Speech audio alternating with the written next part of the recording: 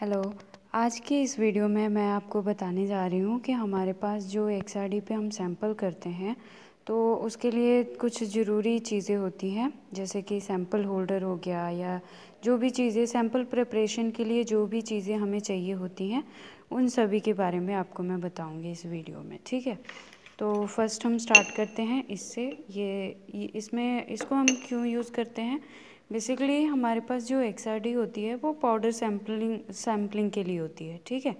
But sometime क्या होता है कि हमारे पास जो सैंपल्स आते हैं, वो बहुत तरह से मतलब एग्जैक्टली पाउडर फॉर्म में नहीं आते हैं और वो क्रिस्टलाइन होते हैं।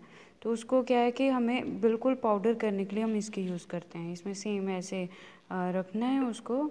तब तक हमने करना है जब तक वो बिल्कुल पाउडर फॉर्म में नहीं आ जाता, ठीक है? तो ये बस उस काम के लिए है। दैन ये टिश्यू पेपर है। ये इसकी ज़रूरत हमें पड़ती है जब सैंपल होल्डर्स को क्लीन करने के लिए। जब जब भी जितने बार भी आप सैंपल लगाते हो, उसको एग्जैक्टली क्लीन साफ़ करने के लिए हम टिश्यू पेपर की यूज़ करते हैं with the help of alcohol ठीक है? ये, इसमें आप देखोगे, ये अल्कोहल है।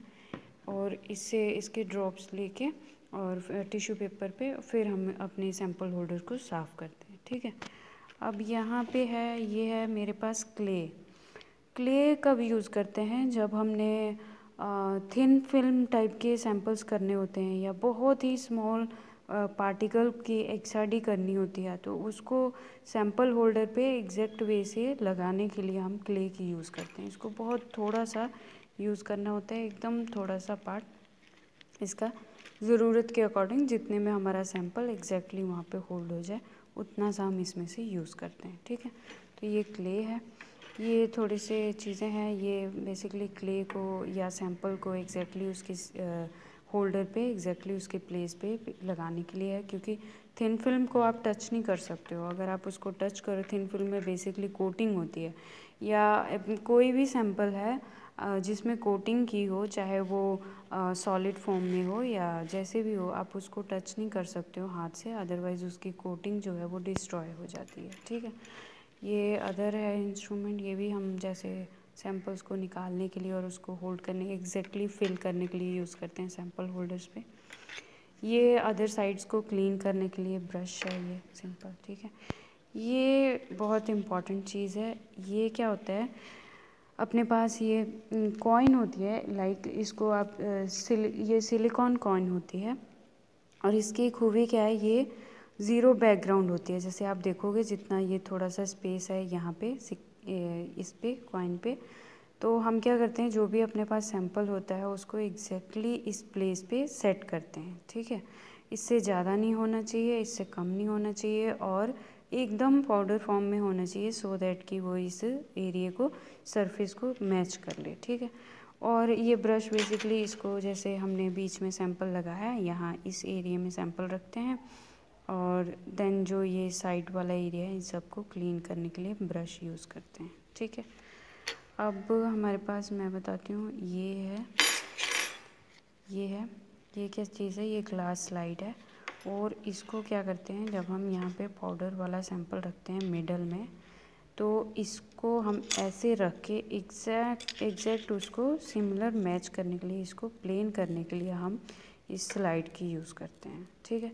प्लस आप स्लाइड यूज़ करते हो लाइक जैसे अनियन अनियन वाली से कोई बहुत ही ब्रीक या स्मॉल थिन फ़िल्म है या कुछ बहुत कम केमिकल है तो उसको टेस्ट करने के लिए आप ये स्लाइड्स की यूज़ कर सकते हो। इस पर रख के आप सिंपल मशीन के साथ इसको लगा सकते हो, ठीक है? तो ये था कॉइन देन ये भी है सैंपल्स को एग्जैक्ट निकालने के लिए या अरेंज करने के लिए चेकिंग इंस्ट्रूमेंट है। ये ये है जो बहुत ज़्यादा मतलब क्रिस्टलाइन अगर आपके पास सैंपल हो तो उसको आप ऐसे करके उसको पाउडर फॉर्म में कन्वर्ट कर सकते हो। ये भी उसी के लिए यूज़ होता है, ठीक है? फिर हमारे पास आता है सैंपल होल्डर ये देखो, आप सैंपल होल्डर है ये। ये ऐसे फिक्स्ड है, इसको सेट किया है। तो हम सैंपल क्या करते हैं? इसके पूरे इस एरिए को पहले फिल करते हैं सैंपल से। देन फिर हम इस स्लाइड से इसको भी मेंटेन करेंगे प्रॉपर वे से कि सही तरीके से आ जाए, ठीक है? और जब हम इसको क्लीन करते हैं तो इसको यहाँ से निकालनी होती है, जैसे कि ये है। एक मेरे पास सैंपल है जिसमें हमने इसके बेस को अलग किया है, ये इसका बेस है। तो जब क्लीन करनी है तो टिश्यू पेपर लेके अल्कोहल के साथ इसको साफ़ करना है, बिल्कुल एग्जैक्ट साफ़ हो। फिर हमारे पास है ये टिश ये हमारे पास है बटर पेपर ये सारे बटर पेपर हैं। क्या होता है कि जो अगर आप सिंपल पेपर यूज़ करते हो या कुछ और यूज़ करते हो तो क्या होता है कि हमारे सैंपल एक तो बहुत कम होते हैं, पहले ही बहुत कम होते हैं, बहुत कॉस्टली होने की वजह से सैंपल्स कम होते हैं। तो अगर आप बटर पेपर यूज़ करते हो, ये क्या होता है कि बहुत सॉफ्ट होता है, ठीक है, और कोटेड होता है लाइक बटर तो ये क्या करता है, ये सैंपल्स को ऑब्जॉर्व नहीं करता है. तो हमारे सैंपल एग्जैक्ट जितने अमाउंट में रिसीव करते हैं हम, उतने में ही टेस्टिंग के बाद भी सारी चीज़ें सेव होती हैं वेस्ट नहीं होता है. सो so दैट हम बटर पेपर यूज़ करते हैं, इसको मैंने डिवाइड कर रखा है अपनी ज़रूरत के अकॉर्डिंग ठीक है. और लास्ट वन ये ये चीज़ है इसको भी हम यूज़ करते हैं कि सैंपल हमारा प्रॉपर वे से हो, कुछ इधर उधर चीज़ें ना हो या बिखर, बिखरे ना। जैसे ये है, यहाँ पे आप सैंपल लगाओगे देन ये वाले एरिया को पूरा इससे प्रॉपर वे से क्लीन करोगे। तो ये कुछ ज़रूरी कंपोनेंट्स थे जो हम सैंपल सैंपल असम्बलिंग के टाइम में यूज़ करते हैं। इनके हेल्प से ही हम सैंपल को अपनी मशीन के साथ रख पाते हैं। तो आज की वीडियो में बस इतना ही। अगर आपको इसके रिगार्डिंग की, कोई चीज़ नहीं पता लगी, कोई डाउट है या कुछ है तो आप कमेंट करके मेरे से पूछ सकते हो। Thank you